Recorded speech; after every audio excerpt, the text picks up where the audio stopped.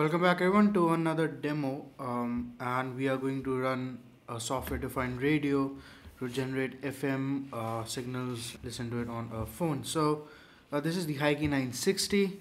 It has two USB 3 ports and that is necessary for today's experiment. And here I have a USB 3 to a VGA dongle. So what we are going to do today is run a specific project that has reverse engineered this particular USB dongle which runs on the FL2000 chip uh, reverse engineered it to generate FM radio signals uh, and it is a pretty interesting tech.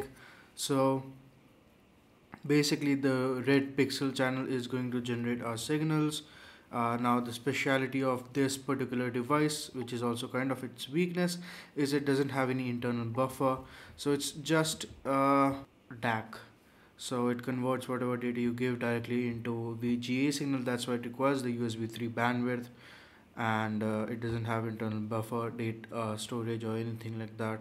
So everything is done in the driver. So we are not going to use it as a VGA uh, to, to generate VGA signals and run a monitor instead we are going to use it for software defined radio.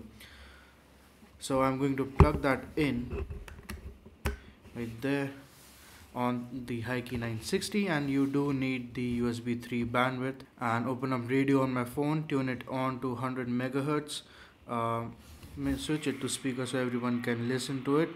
And you can hear the disturbance right now because nothing's playing. And as soon as I enter the command in a second it should start uh, playing some audio. So there it is. Um,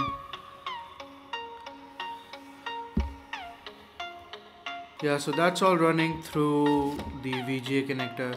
And if I move the device enough far enough away it will stop uh, the range is around 2 to 3 feet at max.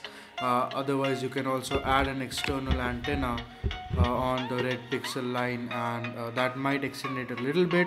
But again this is not a perfect system and uh, that doesn't really happen. So if I disconnect it just to show you that it's actually generating from the VGA signal uh, if I disconnect it it would uh, stop playing. That just like that so let's go ahead and kind of turn this off.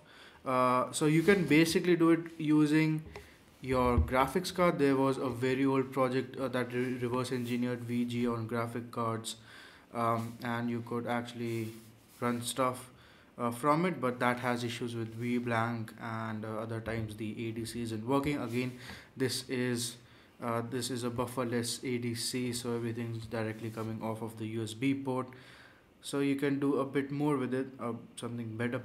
So all the instructions on how to set up it's pretty simple. It's very straightforward. You don't need to do anything complicated.